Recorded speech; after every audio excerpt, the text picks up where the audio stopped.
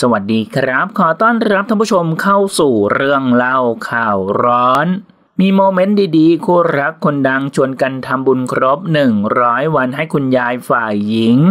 แม้คุณยายจะจากไปแล้วแต่ยังอยู่ในใจหลานคนนี้เสมอสำหรับนางเอกสาวเบสรักวันนี้คำสิงล่าสุดเบสพร้อมแฟนหนุ่มอย่างตรงตรงกฤษกรกันกทอนและครอบครัวคำสิงได้เดินทางไปทำบุญครบ 100 วันให้คุณยาย ที่วัดวิเชียนธรรมารามอำเภอบ้านแท่นจังหวัดชัยภูมิ โดยเบสโพสคลิปโพกอดเจดีกับอัฐิคุณยายด้วยความคิดถึง เป็นอีกโมเมนต์ซึ้งๆที่แฟนคลับส่งกำลังใจให้กับสาวเบสกันอย่างครับข้าง อย่างไรทางทีมงานขอเป็นกำลังใจให้ด้วยนะครับท่านผู้ชมนะครับ มีความคิดเห็นอย่างไรกับเรื่องนี้ลองแสดงความคิดเห็นกันเข้ามาดูนะครับ ขอขอบคุณข้อมูลจากที่นี่ .com ขอบคุณครับ